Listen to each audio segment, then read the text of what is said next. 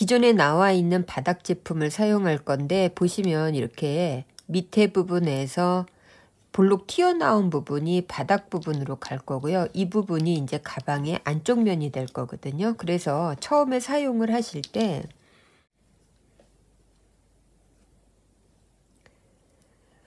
고리 매듭을 하신 다음에 실 조절을 조금 해주시고요. 바깥에 구멍에서 안쪽으로 그리고 이렇게 실을 빼주시면 돼요. 그러면 이 부분이 이제 바닥, 안쪽 바닥면에 이 짜투리 실이 들어가 있는 거고요. 그 다음에 이제 우리는 이 바닥 부분에서 이제 시작을 할 거예요. 처음에 한 코를 만들어 주시고요.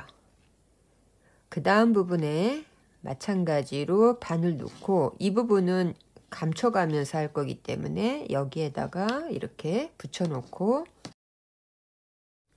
빼주세요. 빼고 그 다음에 다시 한 코.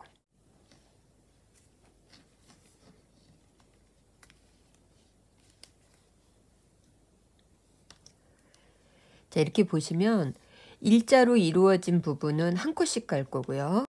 모서리 부분에 있는 이렇게 꺾이는 모서리 부분에 하나, 둘, 셋, 넷, 다섯 개의 타공에는 두 코씩을 해서 열 개를 만들어 줘야 이 부분이 예쁘게 꺾이거든요. 그래서 양쪽 끝에 하나, 둘, 셋, 넷, 다섯 개.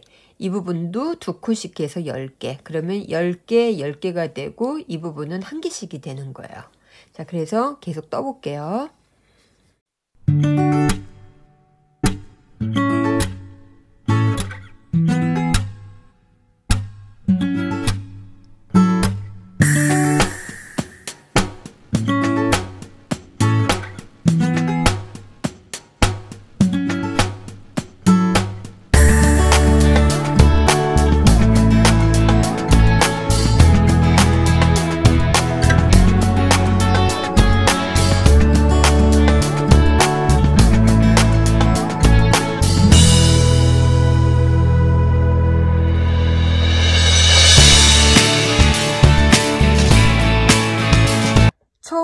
만들고 난 다음에 두 번째 단을 갈 때 빼뜨기 없이 갈 거거든요. 그래서 뒤에 있는 부분 이 뒤에 있는 부분에 이렇게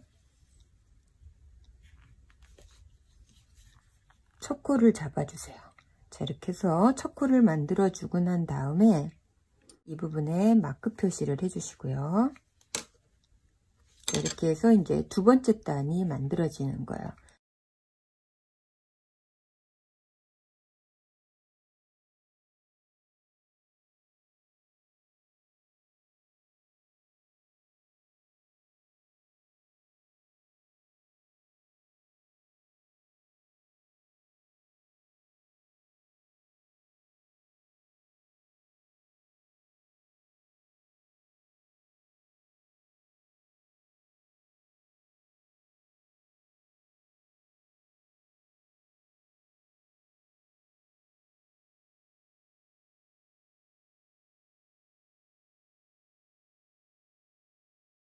이렇게 쭉 이랑뜨기로 뜨면은 이 부분이 이렇게 꺾여요.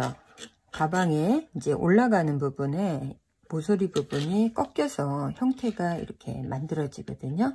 제일 꺾여지는 첫 단 부분을 이랑뜨기로 뜨고 난 다음에는 패턴 무늬를 이제 바꿀 거예요. 그래서 여기에서 마크 표시를 이제 빼내고요. 제일 처음에 처음에 보이는 코는 마찬가지로 이랑뜨기로 떠주시고요. 그 다음에는 두 번째 코에서는 이 뒤에 앞에 지금 우리는 뒤에 떴잖아요. 뒤에 있는 코를 껐는데 두 번째에서는 앞에 있는 코. 자, 앞에 있는 코를 뜨고요. 그 다음 코에서는 뒤에 있는 코를 뜨고요.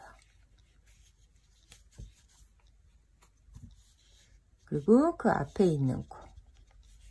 자, 이렇게 한 코는 뒤에 있는 거, 그 다음에 한 코는 앞에 있는 코를 잡아서 계속 떠주시면 돼요.